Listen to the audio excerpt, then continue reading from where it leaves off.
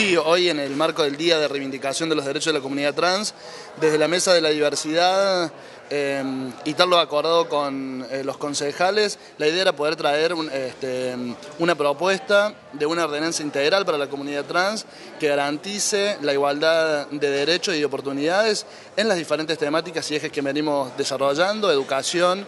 trabajo, vivienda, em, en, las cuestiones que tienen que ver con, la salud. Y en ese marco es que vamos a presentar esta, esta propuesta para que los concejales la puedan este, discutir y la puedan, la puedan evaluar. Puntualmente, ¿cuál es el proyecto que traen? Eh, en eso, bueno, tiene todos estos ejes incluidos que se puedan incorporar en los planes de viviendas a la comunidad trans, dándole la oportunidad de tener una vivienda y el acceso a una vivienda, generar un cupo en la administración pública municipal para personas trans, la posibilidad de que eh, eh, el municipio cree un fondo especial este, destinado al acompañamiento en las cuestiones de salud Digo, muchas de estas cuestiones que están en la ley de eh, salud integral trans a nivel nacional se dan en algunas provincias, ¿no? Y poder acceder a la estripación de,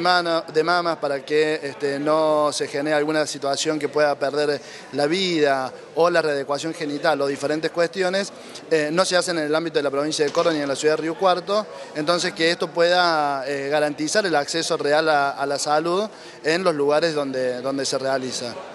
Sí, en realidad el, Estado municipal no, se va a hacer cargo del, acceso mm, a, la, salud eh, puntualmente. Sí a que eh, la idea es que las chicas trans puedan tener el acompañamiento económico para poder hacer esos traslados a la ciudad de Rosario, Buenos Aires, para poder hacerse esos, tratamientos.